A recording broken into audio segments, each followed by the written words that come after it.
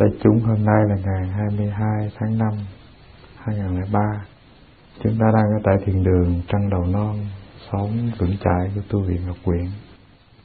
Đúng ra hôm nay là chúng ta nghe pháp thoại của sư ông, nhưng mà có một cái chút đổi thay, cho nên hôm nay các vị sẽ chịu khó học bài thứ sáu của kinh Bát Đại Nhân Giác. Đề lục giác tri nghèo khó thì nhiều oán hận, và kết nhiều cái ác duyên. Bồ tát bố thí thì khắp hết kẻ quán người thân, không nghĩ đến những cái ác cũ và cũng không ghét cái lỗi lầm xưa. Đó là nguyên văn của bài thứ sáu. Và chúng ta sẽ đi vào từng cái đoạn ngắn để cho các vị thấy cái bài này nó có một cái đại ý đó là chúng ta hãy tu tập cái hạnh xả ly và bố thí một cách bình đẳng. Tôi sẽ viết cái phần âm hán để cho các vị có thể theo dõi thì dễ. À, chúng ta sẽ đi dần từ hai câu một. Có thể dịch ra chữ Việt là bằng khổ, nhiều oán, bạo kết ác duyên trước khi đi vào chia sẻ cái nghĩa cần thiết, chúng ta có vài cái từ có thể hiểu. Thứ nhất, chữ bần này âm hán, chúng ta dịch là nghèo, nó chưa có lột hết cái nghĩa của nó tại vì trong tự thân của cái chữ chữ bần này, ngoài cái nghĩa là nghèo khó, nó còn có cái nghĩa là thấp thỏi.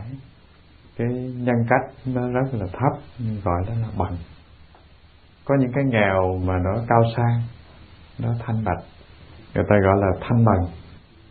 Và có những cái nghèo của sĩ phu nho giáo ngày xưa, họ rất là tự hào về cái phẩm chất nghèo của họ, nó trong sạch, nó sáng giá. Nhưng mà có những cái nghèo, nó trở thành, nó làm cho tâm hồn của người ta thấp xuống.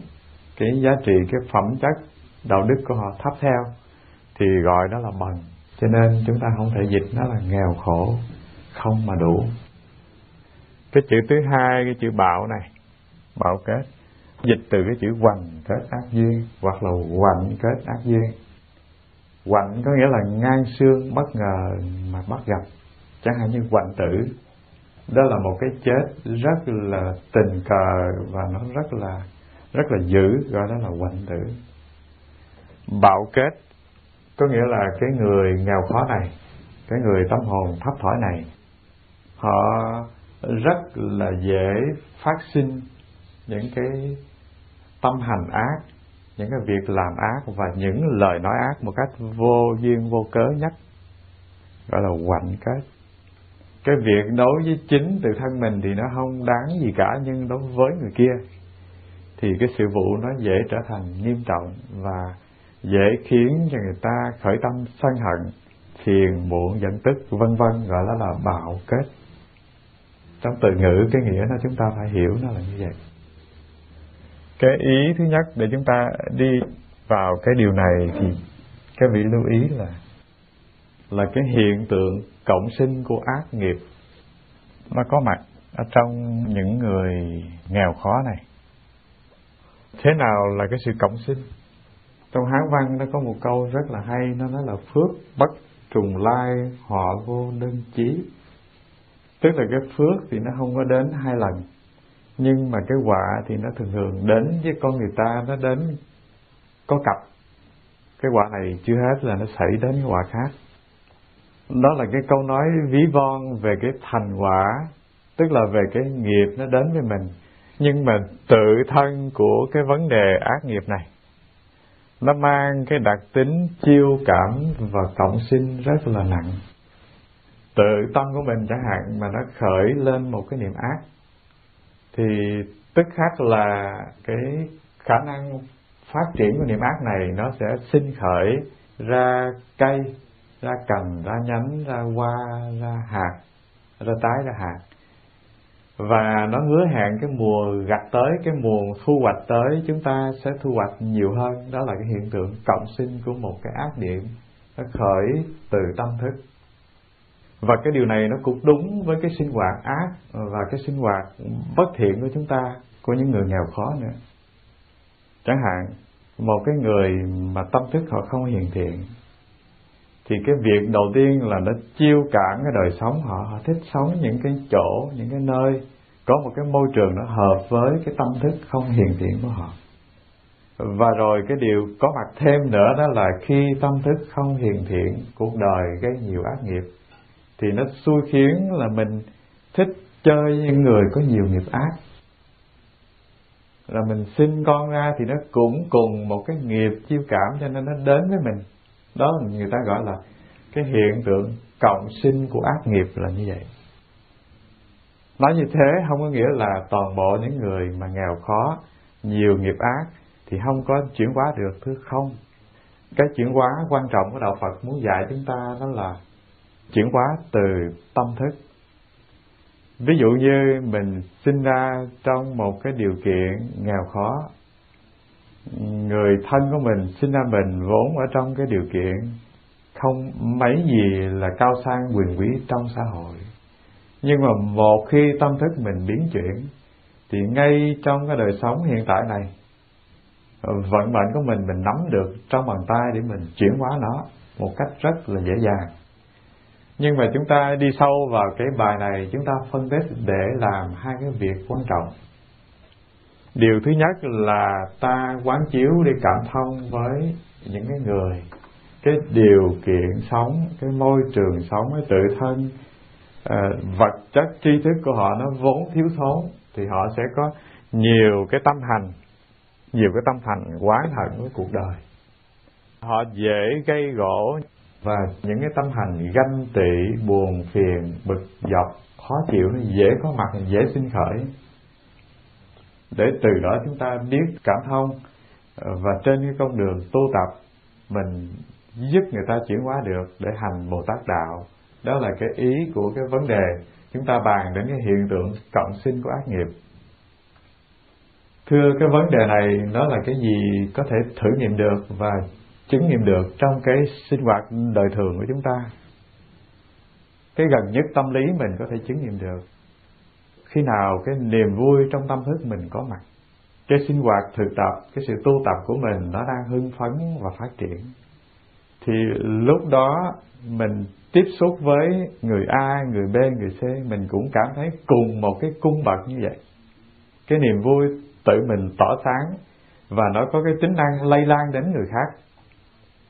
Và khi mà tâm thức mình nó bị thui chột, tâm bồ đề của mình nó bị ốm yếu. Cái niềm vui, sự tu tập mình không có mặt. Thì lúc bấy giờ, tự tâm thức của mình nó cũng phát sinh những cái năng lượng, nó có cái khả năng nó thu hút hoặc nó có khả năng tác động đến người xung quanh, làm cho cái môi trường mình nó cũng ảm đạm theo, nó buồn phiền theo. Đó là trong cái lĩnh vực tâm thức tự thân chúng ta kinh nghiệm được tâm thức cộng đồng thì khi các vị thấy một cái tập thể, bạn bè vây quanh mà thành phần là văn nghệ sĩ trí thức thì chúng ta biết là cái con người kia tự tâm của họ, nó có cái phẩm chất của văn nghệ sĩ của trí thức. Nếu mình thấy cái cộng đồng nó bao quanh là những người thích uống rượu thì mình biết là tự thân của cái người chủ nhà kia là cái người ghiền rượu. Ờ, và từ đó chúng ta suy diễn ra thì biết một điều là cái hiện tượng cộng sinh của ác nghiệp này, đặc biệt nó rất là rõ ràng, ảnh hưởng nó rất là rõ trong cuộc sống tự thân và trong cuộc sống cộng đồng. Rộng hơn nữa là trong một cái hoàn cảnh, một cái môi trường xã hội cũng như vậy. Hầu như quốc gia chậm tiến nào nó cũng đi đôi với cái tình trạng dốt nát bất công, nghèo đói và tham nhũng cả. Nó nó cùng một cái quy luật vận hành như vậy mà thôi. Nó do cái ác nghiệp nó chiêu cảm và họ muốn vùng vẫy. Chẳng hạn như chúng ta biết có những quốc gia chậm tiến, họ muốn vùng vẫy để thoát ra khỏi cái tình trạng khó khăn của quốc gia họ, nhưng không phải dễ. Cực lắm. Nó đòi hỏi cả một dân tộc, cả một cộng đồng dân cư phải ý thức được về cái ác nghiệp họ chuyển hóa từ tâm thức của họ mới có thể đưa quốc gia vượt thoát khỏi cái tình trạng khó nghèo. Và đa phần cái điều này nó đúng rất là chính xác là người nghèo khó và người thấp thỏi nào mang trong lòng cũng rất nhiều oán hận cả. Và cùng một sự việc xảy ra nhưng với người có cái điều kiện sống, cái tri thức họ cao, có cái đời sống vật chất ổn định, tâm thức họ được chuyển hóa, thì cùng một cách tiếp xúc với sự việc khó khăn đến với cuộc đời họ, nhưng mà với người trí, với người có đời sống hiền thiện, thì cách hành xử họ khác.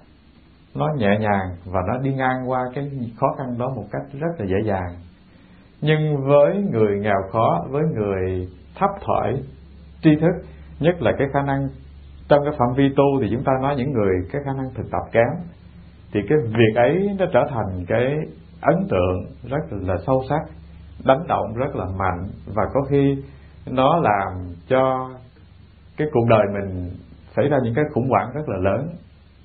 Tất cả đều do tâm thức của mình và cái ác nghiệp này cộng sinh để nó xô đẩy ra thành nhiều oán hận. Và từ cái tâm thức như vậy mà chúng ta có thể gây nhiều cái ác duyên, chướng ngại cho cái sinh hoạt tu tập của chúng ta. Và chúng ta ý thức điều này để có thể biết một điều rằng, có khi mình giáo hóa, mình truyền bá Phật pháp. Ở những cái thế giới văn minh, có cái điều kiện vật chất tốt lành ở cái thượng lưu trí thức có khi nó dễ hơn giáo hóa. Ở cái quốc gia nghèo khó, chậm tiến, điều kiện vật chất thiếu thốn. Và nhất là có khi mình giáo hóa cái tầng lớp, cái tầng lớp thấp của xã hội phải rất là cẩn trọng. Họ rất dễ bị thương tổn. Những cái tâm hành bất thiện nó dễ sinh khởi. Và cái tâm hành gần nhất của những người bần khổ đó là cái tâm hành ganh tị. Nó dễ có mặt. Trong những cái người có cái điều kiện vật chất thiếu thốn và cái môi trường à, giáo dục môi trường xã hội nó thấp kém, đó là điều chúng ta lưu ý. Thứ nhất.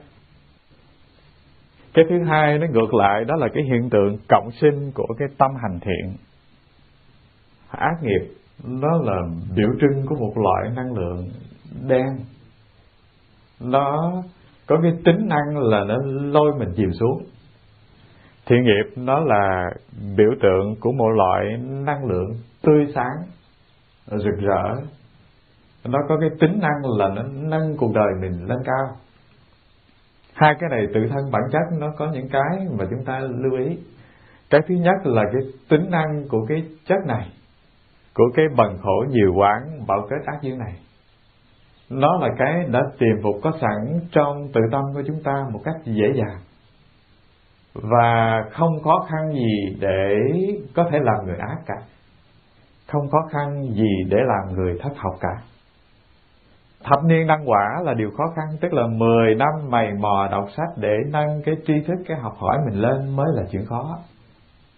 Nhưng mà anh không cần học, anh rong chơi. Qua ngày đoạn tháng thì cái chuyện dễ dàng, chỉ cần xếp sách bỏ qua bên là trở thành người rong chơi thôi. Cho nên, hai cái đặc tính của ác và thiện này nó có những cái thuận chiều và cái nghịch chiều như vậy. Bay lên lúc nào cũng khó, vươn lên lúc nào cũng khó. Mà thả mình cho trôi xuống, cho chìm liễm, cho đen tối cuộc đời thì không mấy khó khăn. Đó là tự thân cái bản chất con người nó đã tìm phục cái năng lượng lôi kéo mình đi vào cái vòng tròn của chuyện tử sinh, nó là như vậy. Đó là điều chúng ta phải ý thức. Cho nên, có khi càng tu con đường nó không đơn giản. Cái này nó là sự thực chứ không phải là chúng ta dọ nhau năm thứ nhất, vào chùa tu thì bồ đề tâm lớn mạnh và dũng liệt phi thường. Năm thứ hai, cái nó xìu xìu nó ốm yếu lại cái năm thứ ba nó chết, mất tiêu, nó biến khỏi tâm thức mình bao giờ không hay. Thưa, tại vì cái con đường đi lên nó khó như vậy.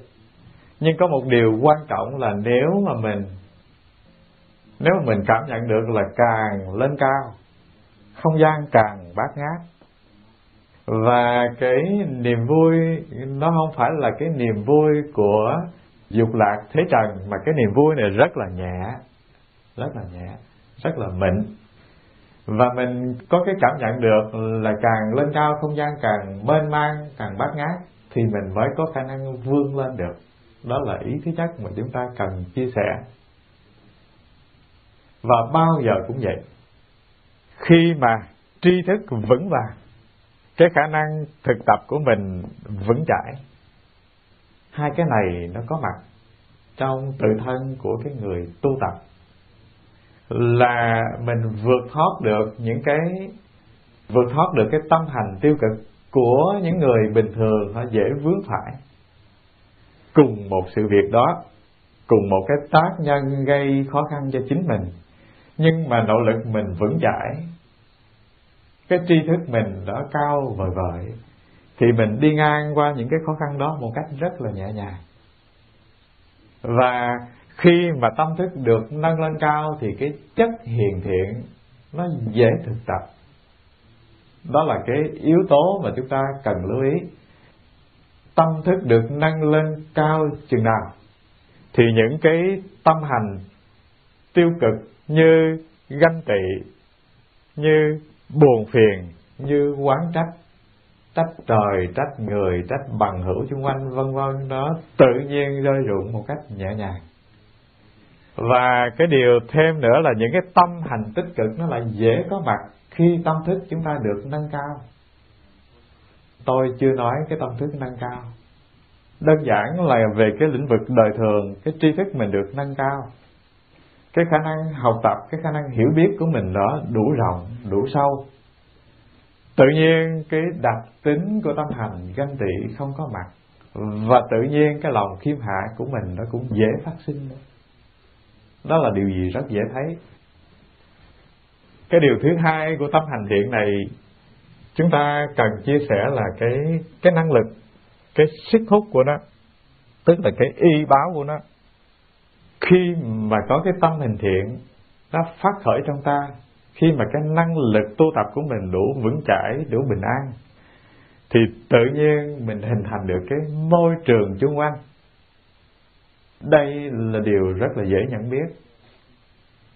Mình hình thành cái môi trường thứ nhất là cái hoàn cảnh sống của mình trong cái thế giới vật chất cũng giống như người ta giàu.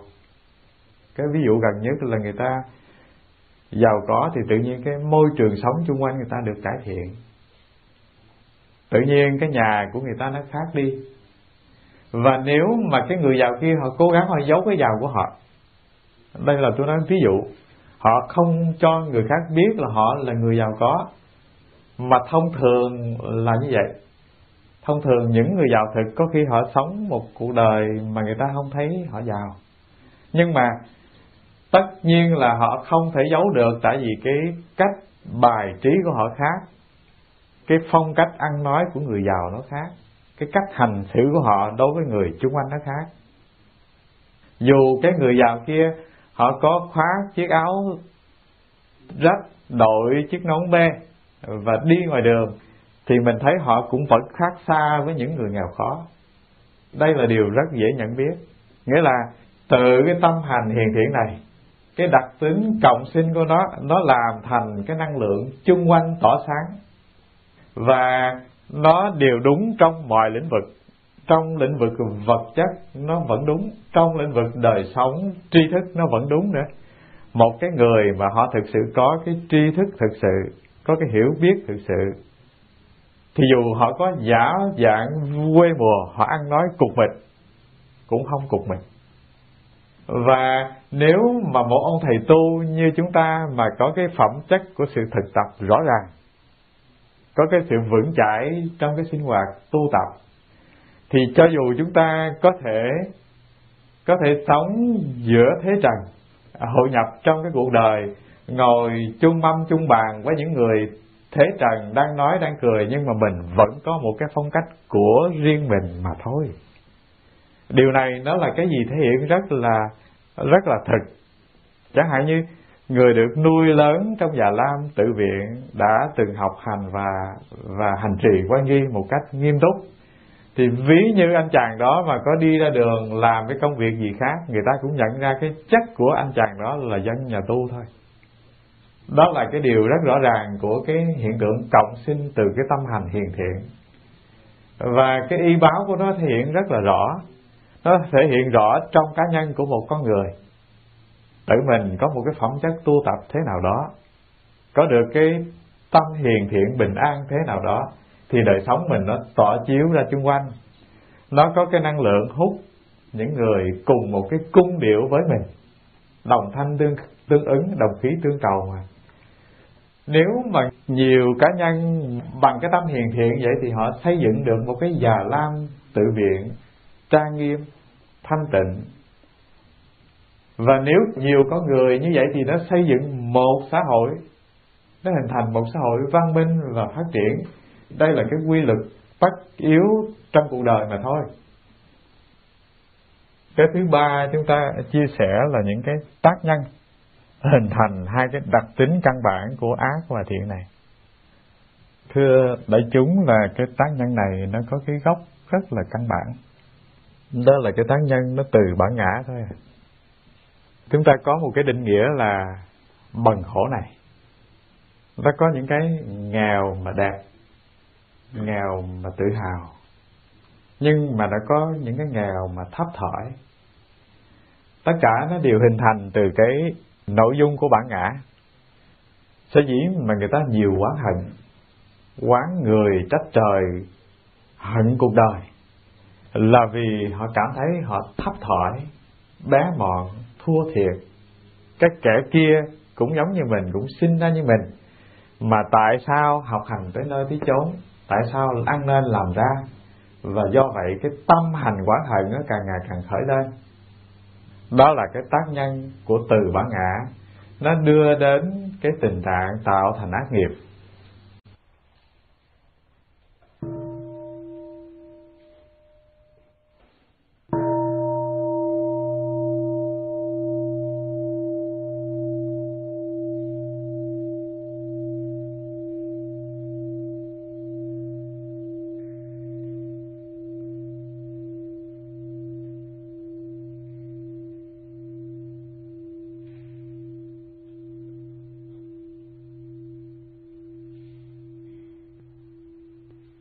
Và một điều ngược lại dễ thấy, đó là cái tác nhân cũng từ bản ngã.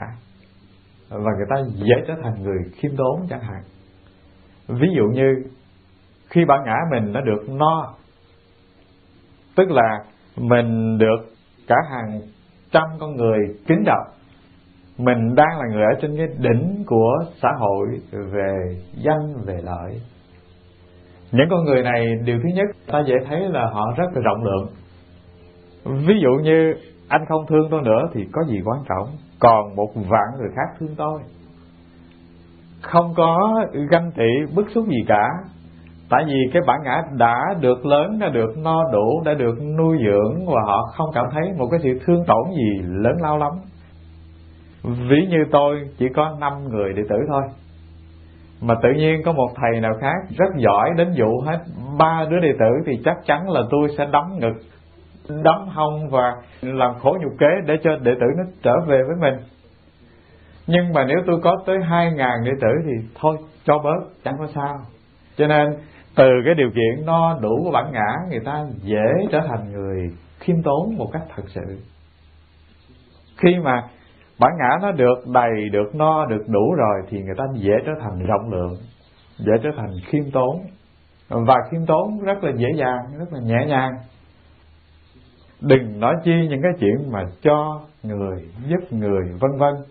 Thứ nhất, nó từ cái góc độ của thiện nghiệp cộng sinh thứ hai, nó nằm sâu hơn, đó là nó từ cái tác nhân của sự no đủ và thành tựu của bản ngã. Người mà đi ngang qua cái đỉnh của bản ngã rồi, tức là trong cái quá trình làm giàu có làm phong phú, làm cho nổi bật, làm cho mình lớn hơn làm cho mình có uy tín hơn mà người ta đã no rồi. Tức là đã đứng trên cái đỉnh của lợi danh, của sự nghiệp, đã trùng chân mỏi gối đi ngang qua cuộc đời và cái bề dày kinh nghiệm họ đã giàu có rồi. Họ dễ trở thành người độ lượng, tha thứ và đối với cái mất còn về lợi, về danh rất là nhẹ nhàng. Cái điều này chúng ta có thể chiêm nghiệm trong cuộc đời này, chúng ta thấy rất là rõ rất là dễ. Các bậc thầy lớn, có khi mình chọc mấy ông không nổi giận thì đâu có gì khó khăn. Tại vì cái sự kính trọng thì nó nhiều, mà cái sự bất kính thì chỉ có một hạt cát mà thôi. Cho nên khó mà chọc. Bậc đạo sư nổi giận. Nhưng mà chọc mấy thầy nhỏ dễ nổi giận là điều này nó cũng rất là đúng là tại vì ông có gì đâu để tự hào đang sửa soạn củng cố để các bản ngã mình nó được có một chút no đủ và tự hào. Thế mà có kẻ nào gan dạ thoát vào thì đổ nợ thôi. Giống như bản thân tôi, chỉ có hai móng đệ tử mà ai tới dụ một đứa là tôi có thể liều mạng mà mà đấu tranh rồi. Cho nên, hai cái đặc tính này rõ ràng là chúng ta phải cần quán chiếu để biết một điều. Trên con đường tu tập và hành đạo mình giáo hóa, mình truyền pháp độ người. Và mình làm mọi cái việc gieo cái hạt mầm trí tuệ cái đạo Phật, mình phải biết rõ ràng hai cái căn cơ này. Nó có những cái khác biệt. Một cái căn cơ thứ nhất là nó ở trong một cái tình trạng là tâm nó luôn luôn có những cái hạt mầm. Những hạt mầm chuẩn bị để quán trời trách người và các cái tâm hành ganh tị, nhỏ mọn vân vân, dễ có mặt. Và biết như thế này rồi để làm gì? Cứ để mỉm cười thôi. Tại vì cái tri thức, cái trình độ, cái sự tu học của họ chừng đó, mình không thể đòi họ nhiều hơn. Và người bình dân có một câu nói rất là rất là hay mà không cần phải dẫn dài dòng như tôi. Họ nói là cái tô là cái tô mà cái dĩa là cái dĩa. Mình không thể bắt cái dĩa nó làm cái tô được cái khả năng chứa của nó chừng đó nước, thì nó chứa chừng đó nước. Mình không thể nặng nó lên để nó chứa nhiều hơn. Bản thân của cái tô, nó có khả năng chứa chừng đó nước thì mình rót ít hơn để nó không bao giờ đầy. Thì cái tâm thức của hai cái giới cái giới bần khổ nhiều oán hận và hay hay gây sự, đó là cái điều tất yếu. Mà đòi hỏi họ chuyển hóa, đó là một điều nó khó khăn và rất là chậm, chứ không phải là mau được thưa, cái cuối cùng chúng ta bàn trong cái phần này đó là cái khả năng chuyển hóa không phải dễ. Có hai cái con đường chuyển hóa. Chuyển hóa thân thì dễ, chuyển hóa tâm mới khó. Ờ, và hai cái chuyển hóa này thì cái chuyển hóa tâm mới quan trọng. Đơn giản một điều, tôi dùng cái ví dụ các vị thấy. Tôi làm một ông thầy tu chỉ mất có một giờ đồng hồ là tôi thành một ông thầy tu rồi. Cạo cái tóc, đồ thì bây giờ người ta may sẵn. Mặc vô. Rõ ràng là không mấy khó, nhưng mà để thật sự có cái phẩm chất của một ông thầy tu thì bao nhiêu lâu? Thưa lâu quá. Có khi có khi 5 năm đi ngang qua cuộc đời mình, mà cái đi, cái đứng, cái nói, cái cười của mình nó chưa thấm tương, thấm trao nửa thai đó là mình nói cái chuyện bên ngoài thôi. Chuyện quá thân thôi. Những cái mà trong già la bắt ta thực tập là ta phải đi như thế nào, nói như thế nào, ngồi như thế nào, xưng hô với người khác như thế nào. Là cái được gọi là hình thức thôi. Thế có phải không? Mà đã khó khăn là như vậy. Để làm một ông thầy tu đi ra đường, ta nhìn thấy là ta xin tâm cung kính là nó đòi hỏi có khi 5 năm thực tập quay nghi tế hạnh mà còn chưa ăn thua. Huống nữa là, huống nữa là cái chuyển hóa tâm hành của mình nó không phải là đơn giản. Cái con đường quen của nó đã đi như thế. Đức phật có một câu kinh trong đại tập. Tâm chúng sinh như ruồi. Nó ưa những cái chỗ ô uế câu đó là đức phật dùng để chỉ cho cái ác nghiệp mình có mặt nhiều. Cái chỗ nào mà sạch thì nơi ruồi nó không chịu đến, nó thích những cái mùi nào hợp với nó nhất nó mới chịu đến mà thôi. Rồi, tâm chúng sinh như giặc. Nó ưa tìm cái bọn cùng một nghiệp với nó để nó kết bè. Tâm của chúng sinh, vân vân cái là đức phật dùng một loạt cái từ để diễn bài, để chỉ cho cái ác tâm của con người nó có một cái khuynh hướng nó tập hợp, nó phát triển cùng một cái thể loại như nó mà thôi. Từ điều đó chúng ta thấy là muốn chuyển hóa nó không phải là cái chuyện một ngày, hai ngày mà được. Đó là chuyện ví dụ xa, ví dụ gần. Chúng ta học theo sư ông làng mai, mỗi một tuần tối thiểu nghe pháp thoại hai lần cái chuyện sư ông dạy, quanh đi quanh lại là chúng ta thở, chúng ta đi, chúng ta nói, chúng ta cười, phải làm thế nào? An trụ được trong chánh niệm. Thưa, cái vấn đề chính là như vậy thôi. Có phải không? Sư ông cũng không dạy gì nhiều lắm ngoài hai chữ chánh niệm mà thôi. Thế mà mình tu có người rất là nhiều năm mà chúng ta đã làm được cái việc đơn giản là nói, cười, đi đứng trong chánh niệm được đâu? Vào ra cười nói, tướng đoan trang được đâu? Thưa, đâu phải dễ. Cho nên, cái điều mà chúng ta cần lưu ý là tâm thức rất là khó chuyển hóa. Người ta bảo rằng trong một đời người, mấy chục năm trên trần thế lao sao này, mà không có thực sự phát tâm tu, thưa, không chuyển hóa được bao nhiêu cả nó lao thao trên cái bề cạn ý thức mà thôi. Những cái tập khí của mình như cái chuyện thèm ăn đường, chưa chắc mình nó bỏ được. Đừng nói những cái tập khí xa hơn, có mặt lâu hơn trong tâm thức của mình. Cái tập khí gần nhất là mình thèm ớt, mà chưa chắc gì mình đã có thể bỏ thèm ớt được. Đừng nói chi những cái chuyện khác.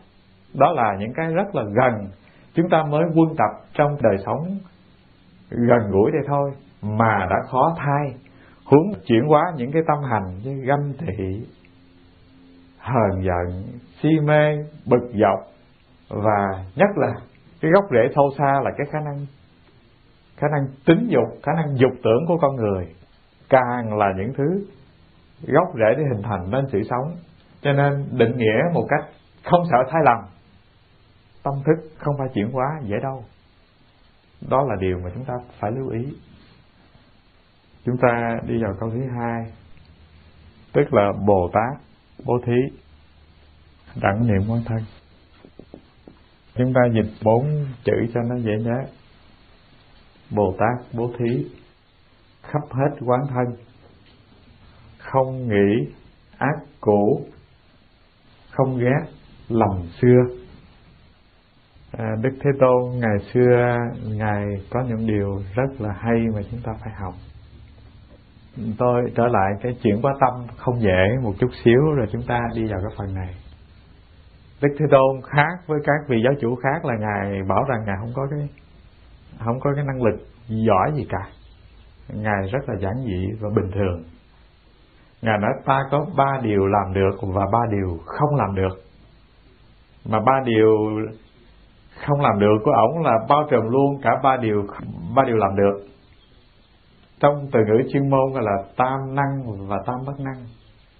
Câu đầu ngài bảo là, năng bạc nhất thiết chúng sanh, nghiệp chướng như bất năng bạc định nghiệp. Tức là, ta có thể nhổ sạch gốc rễ phiền não khổ đau của mọi chúng sinh, nhưng mà những cái gọi là định nghiệp của họ ta nhổ không được. Và ta để ý chưa có ai nói năng mâu thuẫn như đức thế tôn nghe. ông nói là ta có khả năng nhổ hết, dẹp hết nhưng mà có những cái thứ mà ta không nhổ được. Nói như thế, nếu mà mình bây giờ mình dùng cái lý luận mình cãi lại thì rõ ràng là ông ông không làm được cái gì cả.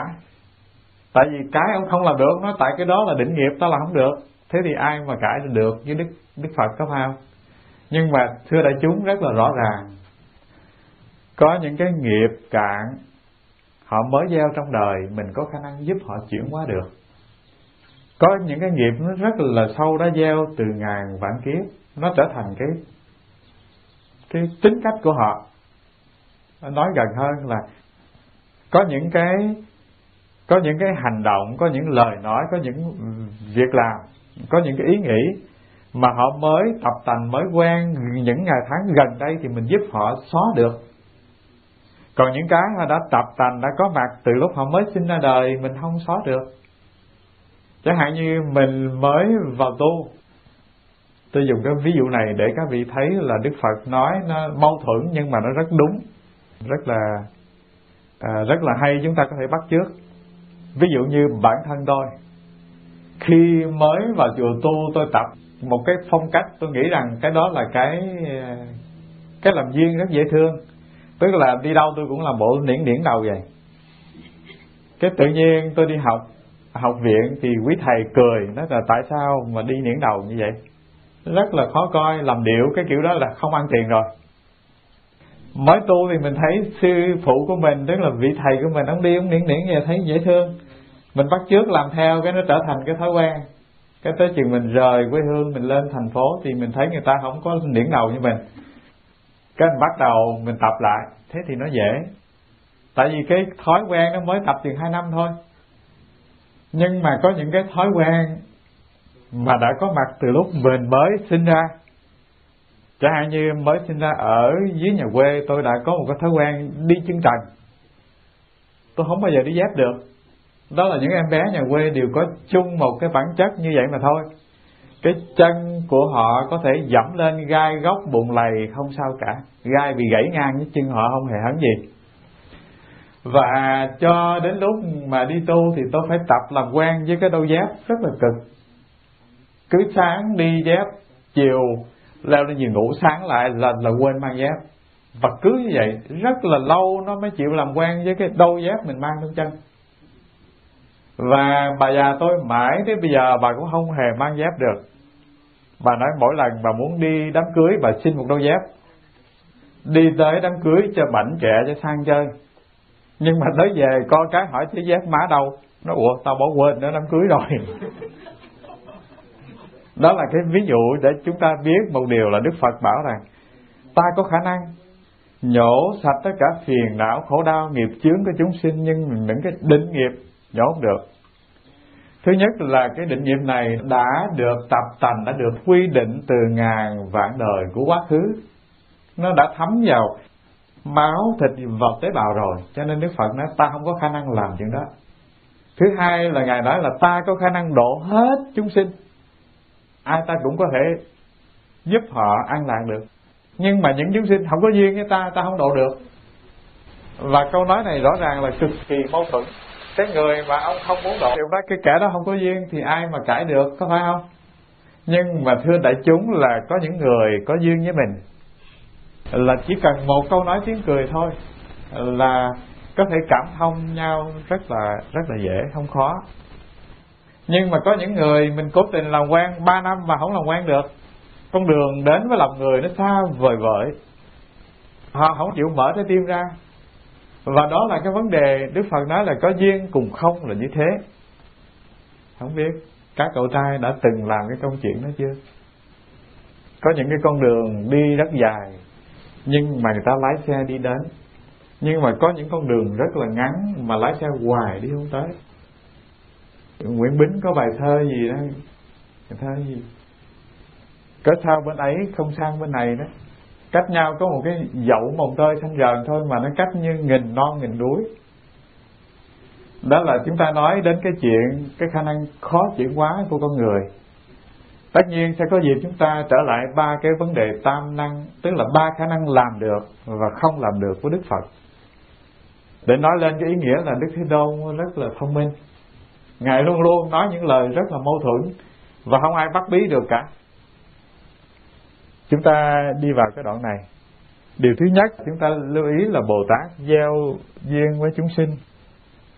Cái duyên để người tu chúng ta có thể tiếp cận với người để truyền đạt để giáo hóa và để khích lệ người ta đến với đạo người ta tu.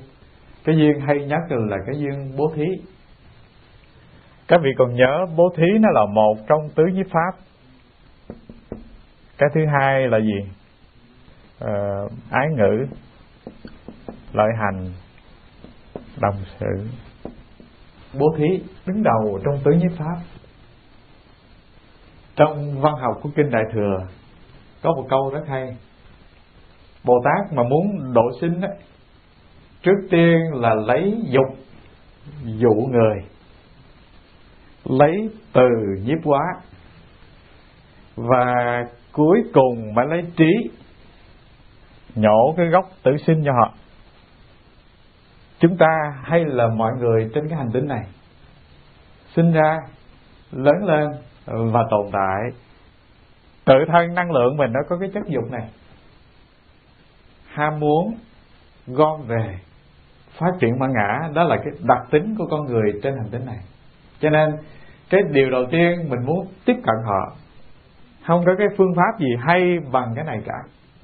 Tất nhiên là đem cái lợi về vật chất cho họ, đem cái lợi về nhiều mặt cho họ chẳng hạn như có những nơi mở trường dạy không cần lấy tiền.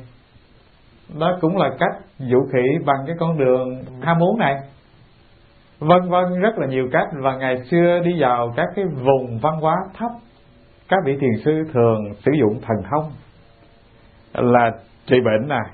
Chỉ cần một ly nước lạnh cho họ uống, họ lành bệnh, thì họ rất là thích rất là nhiều cách. Và chúng ta biết được là trong thời Đức Thế Tôn tại tiền thì ngài ngài cấp cô độc. Ông cũng dùng cái cách này để giáo hóa con ông. Trưởng giả cấp cô độc là một người thâm tín đạo Phật và ông là một cư sĩ rất là dễ thương, đến với Phật hàng ngày. Trung bình sáng ông đến tu viện kỳ đà mang thức ăn cúng dường chư tăng và chỉ huy cho những người tôi trai tới gái quét dọn cả một cái khu vực của tu viện. Chiều lại, ông lại mang súp vặt, tức là những cái thứ cháo đề hồ giúp cho chư tăng, những cái vị già sức khỏe đang kém cần uống để để khỏe mạnh. Và trải vàng với đất để mua đất cúng dường Đức Thế Tôn xây dựng tinh xá đặc biệt trong nhà ông có một thằng con trai nó cực kỳ ghét Phật. Thứ nhất là nó nghĩ là cái ông đầu trọc khó ưa kia vì cái gì mà bố mình phải đem hết tài sản của cải đúng ra của mình đem cúng dường cho một cái nhóm người ăn không ngồi rồi cho nên nó rất là tức. Và từ cái bản chất tham cho nên nó không ưa gì giáo lý đạo Phật mà thôi. Các cô độc nó dụ khỉ. Nói con à hôm nay Đức Thế Tôn có buổi pháp thoại rất hay. Con mà đi nghe đó, con chỉ cần tới đó là con ngủ cũng được.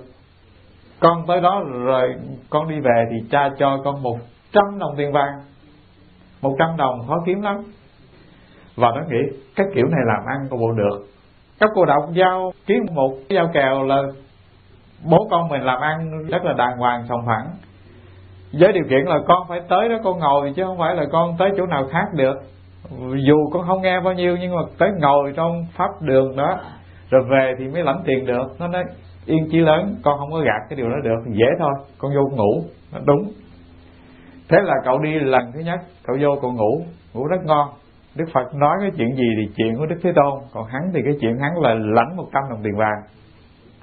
Và về rồi thì cậu nhí nha nhí nhảnh mang tiền đi đi tiêu pha trong những cái chuyện trần trần tục của cậu hôm sau hỏi bố chứ, bố có mướn gì nữa không? Nó mướn chứ. Làm ăn điều mà. Bây giờ con cứ, mỗi ngày con cứ đi rồi con về con lãnh một trăm đồng tiền vàng, khỏi làm gì thêm cả. Một, và thưa đại chúng là ngủ hoài nó cũng chán. Cho nên có một hôm anh ta không ngủ nữa. Anh thức anh nghe. Thì đầu tiên anh nghe thấy không có gì hứng thú cả. Nó không bằng cái loại nhạc hay ho ở ngoài trần thế, cho nên anh nghe anh cũng chán nhưng mà vì cái lòng tham tiền cho nên dần dần lời pháp đức thế tôn nó lọt vào lỗ tai. Một hôm, các cô đọc nói, bữa nay cha để sẵn tiền trong đó, bây giờ con khỏi cần à, phải đợi cha đếm nha con cứ mỗi sáng con lấy một trăm đồng, con đi vô rồi đi về. Cái nó lắc đầu, nó, bữa nay không lấy tiền nữa. Nó, con không có làm ăn với cha nữa. Nó dạ không, bữa nay con đi vô nghe mà con không lấy tiền nữa thì rõ ràng là tâm thức à, ông con này được chuyển hóa và sau đó thì tự thân chú bé này là một phụ tá đắc lực trong cái công việc sắp xếp trai tăng và mời quý thầy đến nhà vân vân.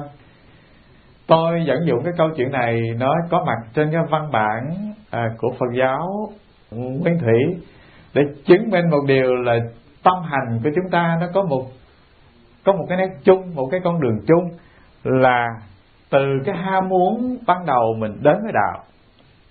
Và khi mà ham muốn đến được với đạo, đó là mình bị dụ bước thứ nhất. Bước thứ hai là khi đến với đạo rồi, cái bằng cái ngôn ngữ từ ái, bằng cái lời pháp hay ho của đức thế tôn, dần dần mình bước vào cái trọng thứ hai. Và sau đó thì cái điều quan trọng và cái mục đích cuối cùng mà đạo Phật có thể giúp được người không có nghĩa là bực một và bực hai. Mà cái đích của vấn đề, cái cuối cùng của vấn đề Đức Thế Tôn ngày xưa phải làm đó là trao cho tự thân của những người đến với mình cái năng lực trí tuệ để tự họ phát triển và nhổ được cái gốc tử sinh của chính bản thân họ. Lúc bây giờ, Phật pháp nó là cái gì của chính họ? Họ tự sáng tạo, tự làm ra. Tức là cái năng lực phát sáng phải tự nơi anh những cái bước ban đầu chỉ là dụ dẫn mà thôi. Và cái bước cuối cùng đó là tự anh phải có cái năng lực trí tuệ. Cái phiền não khổ đau của chính tự tâm anh phải anh giải quyết lấy mà không hề có một đấng thần linh nào, một vị thầy giỏi nào có thể thay mình làm được cả. Mình phải tự thắp sáng cái năng lực trí tuệ của chính mình. Đó là cái con đường giáo hóa của bồ tát ngày xưa đã làm như vậy và trở lại vấn đề là gieo duyên với chúng sinh. Thì cái duyên ban đầu mình đến với người là cái duyên duyên này. Giúp người. Tất nhiên chúng ta có một cái câu hỏi ngược lại là bố thí nó đòi hỏi phải tiền. Nhưng mà những cái người tu mình trần chân trụi thế này, tiền đâu mà bố thí? Thưa, trong Phật pháp nó không có hạn chế cái bố thí trong cái lĩnh vực tài thí không mà thôi mà ngoài tài thí chúng ta còn có một cái món thí quan trọng hơn nữa. Đó là gì? Là pháp thí. Tất nhiên mà những người mang cái chủ nghĩa thờ cái đạo đô la người ta không bằng lòng. Thờ bụt thì người ta có thể tin được, nhưng mà thờ vật chất, thờ đô la thì người ta bảo là cái này không thực tế. Cho thì cái cái vật chất nó mới có giá trị, chứ còn cho cái lời nói không khứ thì không có giá trị gì. Thưa, giá trị lắm. Một đời người khổ đau, có khi người ta không chấm dứt bằng cái chuyện trúng số đâu. Mà một đời người khổ đau, có khi một cuốn sách, một câu ở trong cuốn sách nó tác động đủ người ta chuyển hóa tâm thức. Có một lần ở Việt Nam có một bác sĩ tới nói chuyện với tôi, nói là, cái cô gái nhà kia, cổ uống thuốc cách liễu mạng cổ, trở vô bệnh viện. Mười mấy ông bác sĩ tập trung lại, xúc ruột và cổ chết đi chết lại. Như vậy phải mất một tuần lễ, người ta mới xúc xong cái ruột. Thế thì cứu sống cô được lần thứ nhất trở về nhà bố mẹ khóc lên khóc xuống, năn nỉ lên năn nỉ xuống. Hai tháng sau, cổ lại làm lại lần thứ hai và lần này cổ không uống thuốc ngủ. Cổ uống cái loại thuốc xịt rầy của của nông nghiệp Việt Nam đó. Thuốc nó uống vô thì nó làm bứt hết ruột gan bao tử. Và lần thứ hai trở vô thì người ta cũng tận tình và hai chục ông bác sĩ tới vừa xúc ruột, vừa làm mọi việc để cứu sống. Nhưng mà cô chỉ sống nói chuyện được và sau cùng cô cũng ra đi. Và hỏi ra cái nguyên nhân gì để khiến cho con người này mà phải uống thuốc hai lần gan lì như vậy? Quá ra chỉ mỗi có một việc là thất thất gì? Thất tình mà thôi. Như vậy thì cái mà chúng ta có một cái quan niệm là cứu người, thực tiễn nhất là giúp người làm thầy thuốc thưa, so ra thì rất là thực tiễn, nhưng mà cái gốc của vấn đề nó đâu phải nằm ở cái chỗ cứu người ta tự sát. Cái gốc của vấn đề đó làm sao cái con người kia không có bị cái thất thất gì đó mới là quan trọng có phải không? Chứ cái con người đó mà xúc ruột chục lần mà cứ về rồi vướng mắt rồi thất tình nữa thì cũng như vậy thôi. Cho nên cái quan trọng là chuyển từ bên trong. Mà cái gì có thể đánh động được trái tim của người kia để năng lượng, trí tuệ của Đức Phật có thể nằm ở trong đó, để họ có thể đi ngang qua được những cái phiền não khổ đau mà không thất tình, thất vọng. Chỉ mỗi có cái giáo pháp Đức Phật dạy mà thôi. Cho nên cái giá trị của một câu nói, có khi nó lớn hơn ba chục bác sĩ làm việc hai lần cứu tử. Cái điều này nó rất là thực, chứ không phải là chúng ta tôn vinh cái năng lượng giáo pháp gì cả và rõ ràng là trong những cái ờ, trong những cái chuyến hoàng pháp của sư ông, rất nhiều gia đình khổ đau. Người ta nếm được pháp vị, nếm được cái năng lượng giải thoát từ nơi buổi pháp thoại của sư ông. Người ta chuyển hóa được cái niềm đau và cái sự đổ vỡ của gia đình. Họ hồi phục hạnh phúc lại, điều này đã có thật. Các vị theo dõi cái sinh hoạt tu tập của tăng thân thì các vị thấy điều này rất là rất là thực.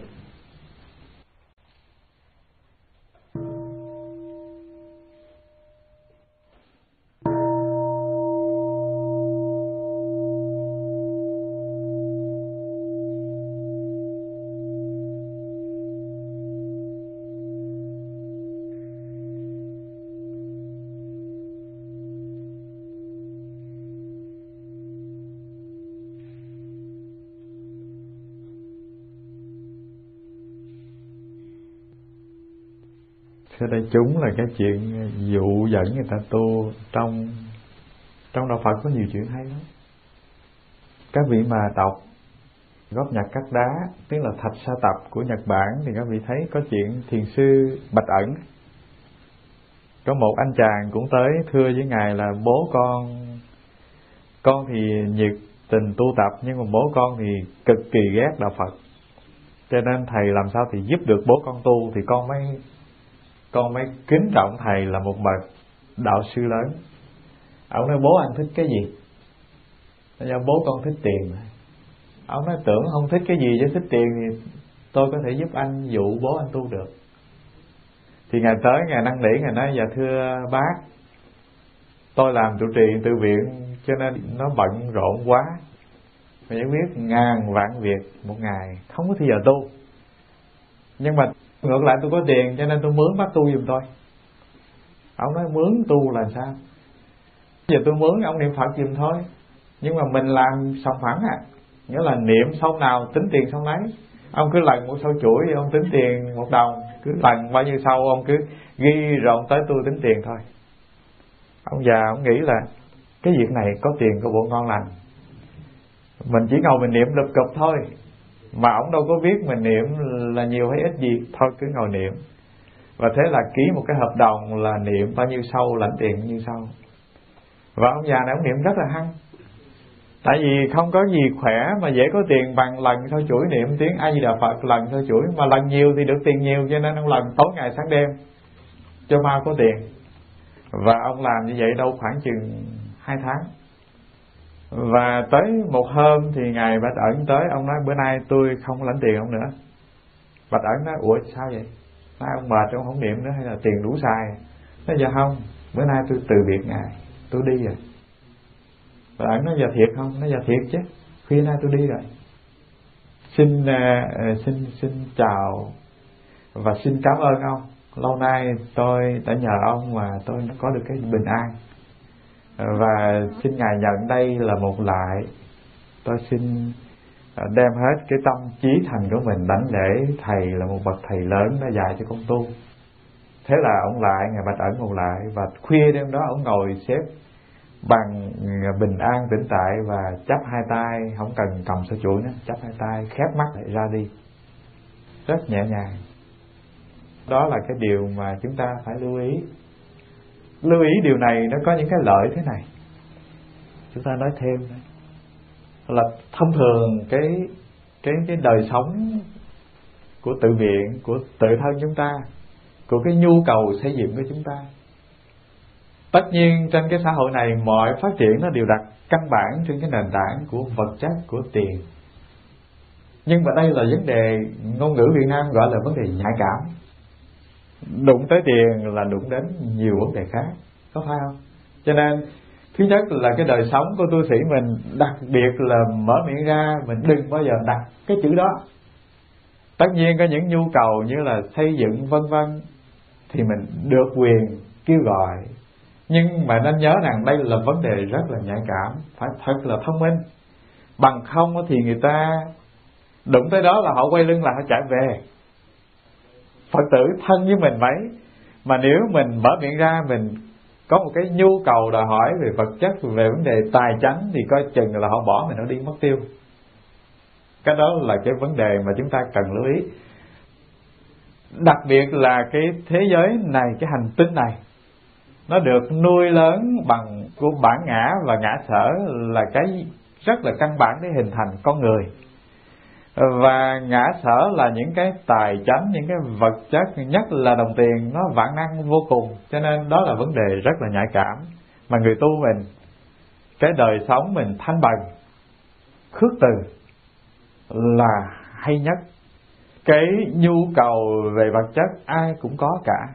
Nhưng mình phải biết cái nhu cầu vật chất này, cái đời sống tự thân mình tiêu phí này, nó chứng minh được cái phẩm chất đức hạnh của mình cũng đồng thời chính nó phá hoại cái phẩm chất đức hạnh của một người tu. Có thể mình có nhiều tiền nhưng mà người ta không đánh giá mình là ông thầy tham tiền. Cũng có thể mình không có tiền mà người ta đánh giá mình là ông thầy tham tiền. Cho nên hai cái điều này nó rất là tế nhị và chúng ta phải rất là lưu ý. Và, và theo cái nhìn của tôi tôi chia sẻ thêm theo cái nhìn của tôi là những người phật tử họ có cái tinh thần tu học đúng với chánh pháp đó, thì họ có một cái cách cúng dường. Cái cách cúng dường này nó mang cái đặc tính là cái đặc tính là nuôi dưỡng tam bảo trường tồn chứ không phải nuôi dưỡng cá nhân những người thầy. Nghĩa là cái phong cách cúng dường của họ nó đặt nền tảng trên cái tâm hành lợi tha, trên cái đại sự lớn. Chứ nó không phải đặt trên cái trên cái nhỏ nhỏ, trên cái bình diện là để làm thân, làm thiện gì nhiều.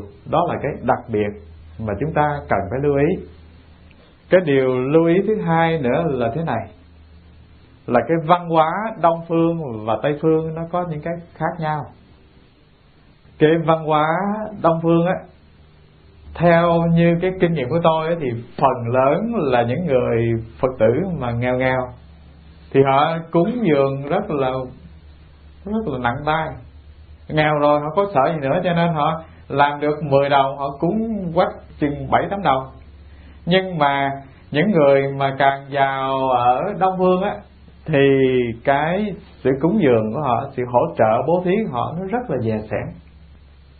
Nó có một cái quy luật ngược như vậy và người giàu, người nghèo nào bên đông phương á, mình làm thế nào để chứng minh được là cái khả năng tu của mình là một cái nhu cầu phát triển tự viện mình là một cái nhu cầu càng yếu á. Họ phát tâm cúng á, thì họ còn đến được với mình. Nhưng mà mình mời gọi, đánh động cho họ bằng mọi cái con đường không phải do họ phát tâm thì họ làm một lần họ tẩn luôn, họ đi luôn, không bao giờ tới chùa nữa. Cái đó là cái điều mà chúng ta cần lưu ý. Quy lại một vấn đề, đó là tiền nó rất là nhạy cảm. Đụng đến nó, coi chừng nó nhức nhối vô cùng, cho nên mình phải rất là thận trọng.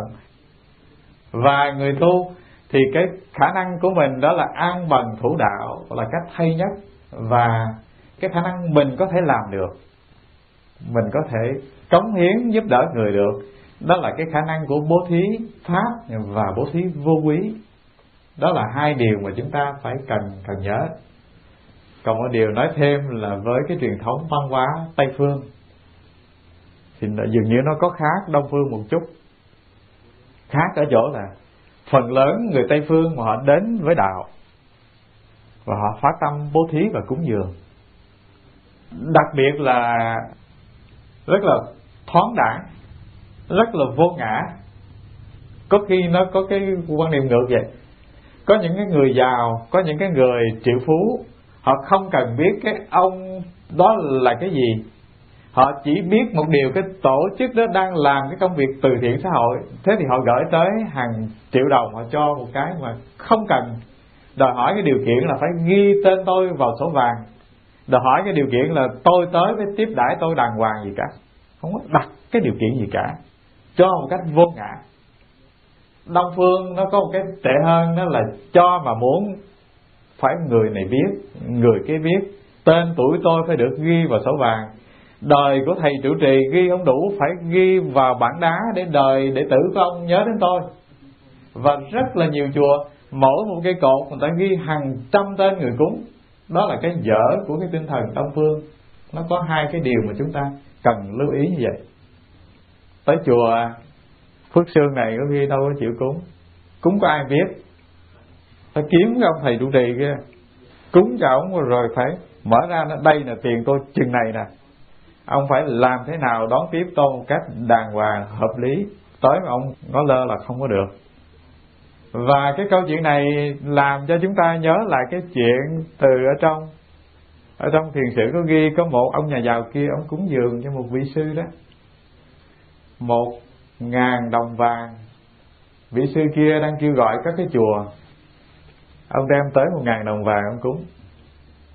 Thì cái vị trụ trì này rất ư là à, rất ư là thiền sư. Nó rồi ông cứ để đó. Không nói một lời cảm ơn. Cũng không rót một tách trà mời và ngó ngó lơ chỗ khác. Nghĩa là ông cứ để đó rồi ông đi ra, ông chơi thôi. Ông đừng bận tâm gì nữa. Tiền chút xíu, đệ tử tôi nó cắt. Ông nhà giàu kia rất là bực mình, tại vì một ngàn đồng vàng đâu phải là chuyện đơn giản. Ông nói dạ thưa thầy, đây là một ngàn đồng vàng. Vâng tôi có nghe ông nói rồi. Không nói gì thêm tiếng nào nữa. Ông kia cũng hơi bực mình ra thưa thầy thầy tưởng là một ngàn đồng vàng này dễ kiếm lắm ư? Tại sao thầy không nói một lời nào khác? Nói, bác nghĩ là tôi phải nói cảm ơn bác à? Nó giờ dạ, đúng ra là phải như vậy. Ngược lại, bác phải cảm ơn tôi. Ông đã cho rồi mà ông phải cảm ơn tôi nữa. Nó tại sao kỳ vậy? Tại vì tôi là cái điều kiện, tự viện, là cái điều kiện để ông xả vớt cái bản ngã. Cho nên cái bố thí hay cúng dường, cái điều quan trọng của nó có nghĩa là để mở rộng lòng ra để xả cái bản ngã mình. Mà tôi là cái điều kiện để ông làm việc đó. Nếu mà tôi không có, chùa tôi không cần, tôi không xin, thì làm sao ông có điều kiện để ông xả bớt cái của cải của ông? Làm cho tâm của ông nó càng ngày càng được sáng hơn, nâng cấp cái trình độ tâm thức càng ngày càng lên cao hơn. Cho nên ngược lại, ông phải ông phải cảm ơn tôi. Đó là cái câu chuyện. Tóm lại một điều là nó có hai mặt mà chúng ta cần nhớ. Mặt thứ nhất, tài chánh là cái vấn đề rất là nhạy cảm. Cho nên trong cái sinh hoạt của già lam tự viện đời sống của chư tăng chúng ta, đặc biệt là phải thể hiện được cái sự bất vụ lợi, có phải không?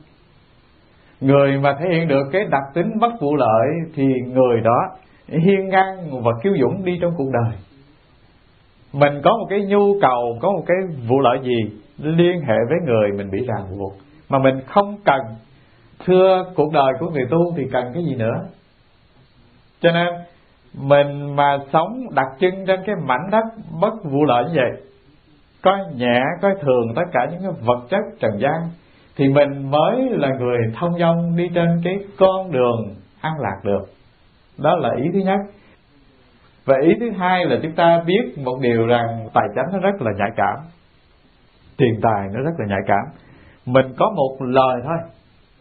Đối với người có một cái yêu sách gì đó là họ cảm nhận ngay, đó là cái quyết mạch của họ mà.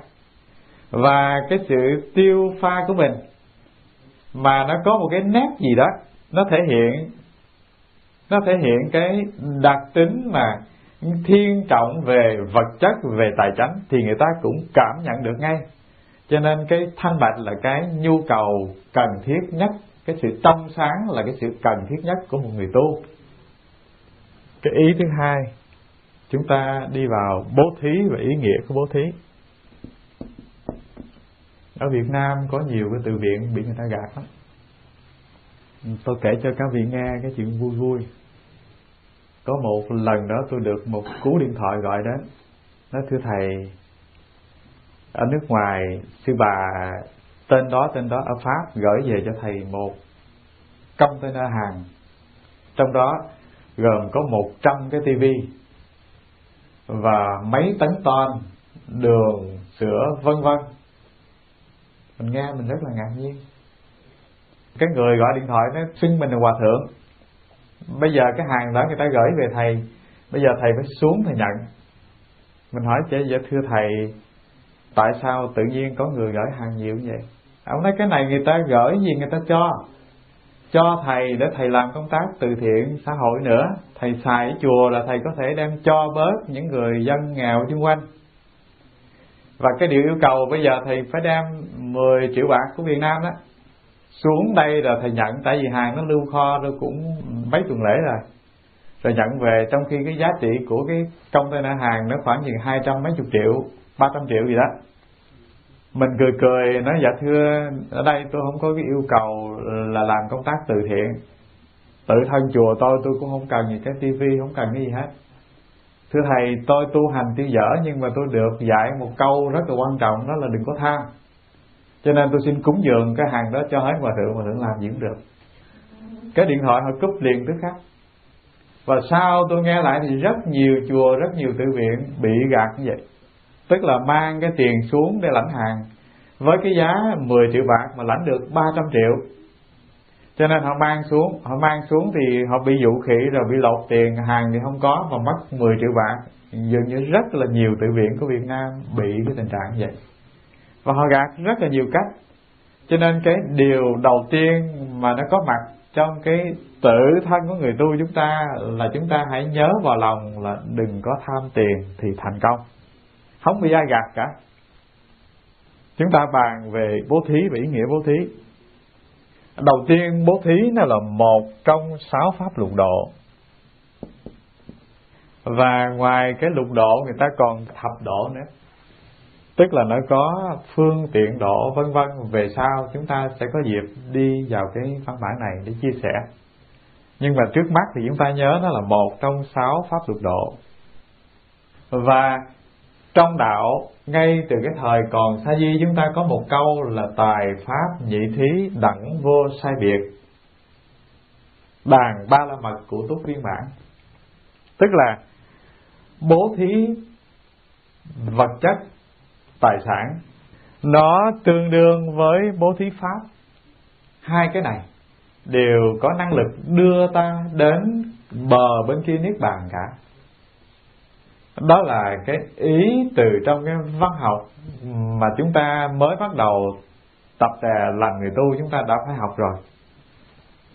Cái ý thứ hai, chúng ta cần lưu ý là cái sự thành đạt của bố thí. Thưa cái trọng tâm của bố thí. Đó là để xả ngã.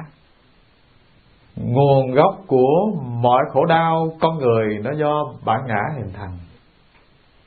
Cái điều đầu tiên mà chúng ta có thể làm quen để đi vào cái hang ổ của bản ngã để có thể phá tung nó, để mở ra cánh cửa niết bàn lòng lộng, là chúng ta phải làm thế nào phá được nó. Đó là cái ý nghĩa chính của vấn đề bố thí đơn giản ở mặt cạn nhất. Chẳng hạn như bố thí tài, ngoại tài đi. Tức là những cái tài sản, vật chất bên ngoài mình đem mình giúp người. Cái mức độ cạn là cái sự giúp đỡ này, cái sự chia sớt này.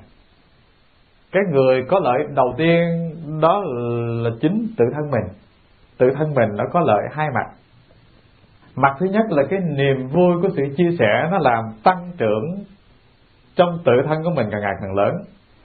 Người nào mà có một đời sống với cái bàn tay xè ra là người đó có cái hạnh phúc lớn mà thôi. Và cái nguyên tắc vận hành trong cuộc đời này là cái gì mà nó đi ra thì nó có điều kiện nó trở lại. Một bàn tay xè ra xè ra thì nó có khả năng nó mới nắm lại được. Mình mà nắm lại thì nó không những là không có cái gì thêm mà nó chỉ là cái cũ đích và bao nhiêu đấy mà thôi. Cho nên thường thì người mà bố thí, tự nhiên cái phước nghiệp nó chiêu cảm, họ lại có lại của cải vật chất.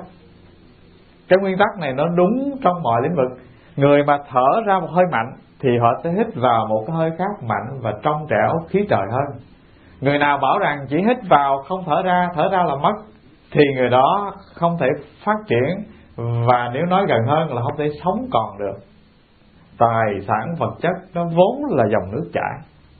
Người ta sử dụng nó một cách đúng mức, có nghĩa là cho nó luân lưu. Trong cái thị trường buôn bán và kinh tế ở nhân gian cũng vậy, đồng tiền mà giữ nguyên trong kho là đồng tiền đồng tiền chết, đồng tiền không thể sinh được. Và nó cùng một nguyên tắc như vậy. Cái điều đầu tiên là xả ngoại tài nó đưa đến cái niềm vui và hạnh phúc của tự thân, của tự tâm trong cái sự giúp đỡ, sự chia sẻ. Cái người nhận được, họ có một niềm vui, nhưng là niềm vui của cái sự thọ nhận, nó lại nó lại không lớn, không hạnh phúc, không có không có thâm sâu bằng cái niềm vui của sự chia sẻ, của sự cho. Cái điều này thì các vị có thể làm thì các vị có kinh nghiệm được. Cứ mang tiền để cho tu viện lộc quyển rồi thấy cái niềm vui của nó bao lên. Đó là cách dụ kỳ tuy nhiên, chúng ta có thể thử nghiệm nó bằng cách là chúng ta giúp đỡ những cái trung tâm nuôi dạy trẻ, những cái trường học, vân vân này. Các vị chia sẻ cái điều kiện mình có này các vị sẽ cảm thấy cái niềm vui nó lớn vô cùng tôi có một cái niềm vui, đó là tôi hay đứng bên trường học, tôi nhìn học trò nó đi học. Ở Việt Nam tôi hay làm cái chuyện đó lắm. Tôi thấy em bé nào cũng ôm cặp từ trong trường đi ra và nó nhảy tung tăng như con chim sáo. Tự nhiên mình vui à. Mình thấy được đi học là niềm vui. Mình nhớ lại là mình cũng ngày xưa từng tuổi ấy, mình thiếu điều kiện học hành, cho nên bây giờ nhìn thấy người khác đi học là vui cho nên trong chùa nuôi không có nhiều lắm nhưng mà đứa nào không đi học là đuổi về không nuôi nữa. Phải đi học thôi. Và tôi có cái kinh nghiệm là mình chia sẻ bất cứ cái điều gì cho người cái niềm vui nó đến với mình trước chứ không phải đến với người kia. Đó là chúng ta nói về tài chánh bên ngoài. Chúng ta nói về pháp thí cũng vậy. Được chia sẻ được giúp đỡ người khác phát triển tri thức và trí tuệ cái niềm vui của các vị tiếp thu, tiếp nhận, nó không vui bằng cái niềm vui của mấy cái ông đứng bên trên này nói láp giáp như tôi. Tôi chắc chắn như thế. Ở những nơi khác, ở Việt Nam, một cái lớp học có khi ngồi chừng năm đứa học trò thôi, mà người ta đi ngoài đường, người ta tưởng chừng tôi dạy 200 người. Tại vì tôi cũng gân cổ lên, tôi nói rền cả một thính đường người ta tưởng là đông lắm, nhưng mà thực ra không có đông, chỉ có mấy người mà thôi. Nhưng mà bằng tất cả tấm lòng. Tại vì đây là một cái công việc chia sẻ bằng bằng cái niềm vui của chính mình, cho nên cái hạnh phúc nó đến không phải là cái hạnh phúc của sự thọ nhận, mà cái hạnh phúc nó lớn là ở cái hạnh phúc chia sẻ mà thôi. Và từ cái kinh nghiệm cá nhân thì tôi có thể nghĩ một điều rằng, cùng một nguyên tắc như thế các vị có điều kiện, các vị chia sẻ cái gì thì tự thân của các vị nếm được cái niềm vui trước tiên chứ không phải là người kia. Cho nên nói như thiền sư nói là cái người cho cảm ơn, người nhận là đúng thôi. Tại vì anh, chị hay là cô, là bác là cái điều kiện để làm tăng trưởng niềm vui của chính tôi. Nếu không có anh, không có chị, thì làm sao cái niềm vui trong tâm tôi nó đông đầy được? Cho nên cái người nhận không có cần phải cảm ơn người cho, mà người cho phải cảm ơn người nhận đó là cái nguyên tắc ở trong đạo. Văn hóa của phật tử việt nam chúng ta cứ nghĩ là đến chùa, phải được tiếp đãi đàng hoàng, phải được trân trọng, phải được mời chào, vân vân. Cái đó dĩ nhiên là nó có cái đẹp của nó, nhưng mà nó có cái không đẹp. Không đẹp là các vị không thể lớn được, không thể trưởng thành được không có khả năng để thực tập xả ngã được. Mình làm thế nào? Mình làm một cái công việc đóng góp, lớn lao, nhưng mà mình vẫn là hạt cát nằm dưới đường để cho mọi người dẫm lên, mới là cái điều kiện để xả được ngã. Và cái chính yếu của vấn đề bố thí là để xả ngã, để không còn cái kiêu ngạo, cái tự hào, cái tự tôn, cái tôn vinh gì của bản ngã cả. Cho để làm gì? Cho để mình không còn gì cả, mình vốn là không, vốn là cái ly trống.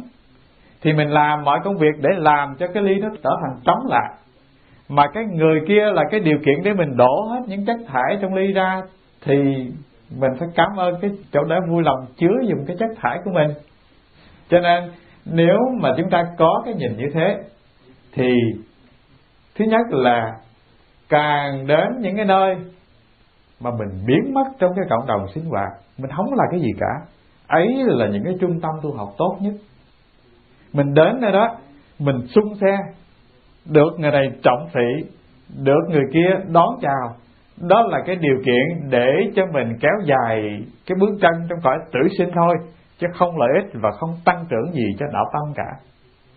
Người muốn phát triển cái trình độ tu học giỏi thì luyện vào cái môi trường lớn là mình phải biến mất trong cái môi trường lớn. Mình đừng làm cái gì để chứng minh sự có mặt của mình cả. Thế mới tốt. Thế mới đánh giá được cái sự phát triển lớn mạnh của tâm thức.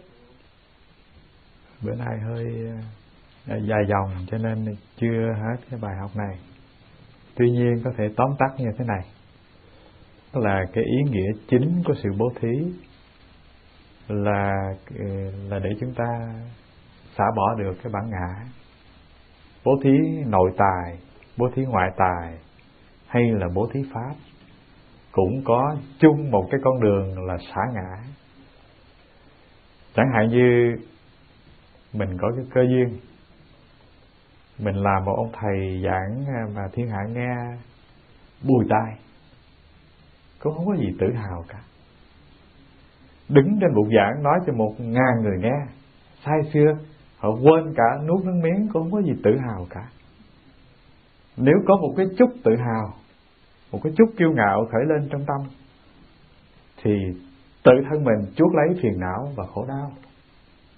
Tại vì cái mục đích chính của vấn đề là làm thế nào để mất tiêu bản ngã mình truyền đạt được những cái điều hay của Phật đã dạy để đến cái tâm thức người, để người chuyển hóa, để họ có trí tuệ, họ tu. Thì có khi không phải do mình hay, mà do gì? Tâm thức của họ đã được chín mùi, đã được chuẩn bị, cho nên những hạt giống từ trong tâm của họ được khởi lên mà thôi. Mình không có gì hay cả. Mình phải có cái nhìn, có quan niệm vậy. Và thực sự nói đúng nghĩa thì không ai dạy ai được cả nếu tự thân của người kia không có cái chất thông minh có cái năng lực tiếp thu đạo lý thì có đố trời mà giải, chứ không có con người này giải được cả. Giỏi nó mà ra giải những cái người họ cái trí nhớ họ không có hoặc họ đần độn hoặc cái điều kiện sinh tâm lý thế nào đó thì không thể dạy được. Cho nên mình tự hào mình dạy đó là sai lầm. Và cái điều này nó đưa đến một cái quan điểm là chúng ta làm mọi việc mà chưa hề có cái bản ngã trong đó có nghĩa là làm mà không có người làm. Và cái đích của vấn đề, của bố thí, nó có cái nghĩa như vậy. Từ bố thí vật chất cho tới bố thí pháp, nó phải có chung một cái con đường như vậy. Nó mới nâng được cái tâm thức, cái trình độ tu tập chúng ta lên. Bằng mình không đi được con đường ấy, mình mới lèo xèo nói được hai ba người nghe nghe bùi tai họ khen là thượng tọa nó hay quá là mình bay trên trời mây, thế thì mình làm bao nhiêu việc? Nó bị ràng buộc, phiền não, khổ đau, bao nhiêu việc mà thôi. Cho nên có thể nói, nếu có thể nói được cho một người nghe, bằng tất cả tấm lòng, nói cho mười ngàn người nghe bằng tất cả tấm lòng, và cái niềm vui của không nói được cũng cứ vậy thôi, thì đó mới là người thành công được trên cái con đường bố thí và chúng ta hãy nhớ là trong cái đời sống tu hành, mình hành xử thế nào mà càng ngày cái bản ngã mình nó càng mòn. Cái sự kiêu ngạo, cái sự tự hào, cái tôn vinh chính mình càng ngày càng vắng mặt. Thì đó là thành công. Cái con đường thực tập thành công. Mà nếu mình làm cái gì mà mỗi ngày mình thấy mình to hơn, mình phình hơn về cái lĩnh vực chấp ngã thì cái sự tu hành của mình nó còn trục trặc, chưa thể tiến bộ được là bao nhiêu. Cái nguyên tắc này, nó có mặt cho cái thế giới người tu mà nó cũng có mặt luôn ở trong cái thế giới trần gian, cho những vị thiền sinh thực tập nữa. Chứ không riêng gì, trong giới người tu chúng ta mới tu tập cách này. Đó là vài điều cuối cùng tôi chia sẻ cùng các vị. Tất nhiên là trong lần tới chúng ta sẽ có dịp bàn lại một chút về vấn đề bố thí và sau đó chúng ta sẽ đi qua bài mới. Xin dừng ở đây.